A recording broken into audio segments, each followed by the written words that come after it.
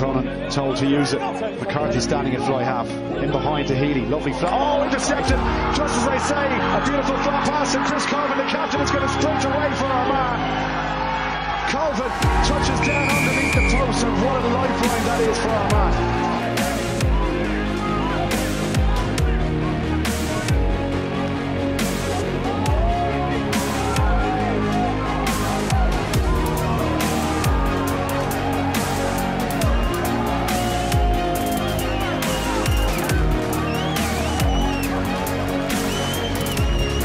Looking at his options left and right. Goes to the left hand side. Healy. Ball in behind.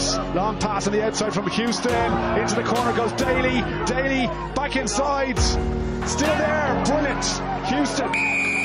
Gary Young gets the third try.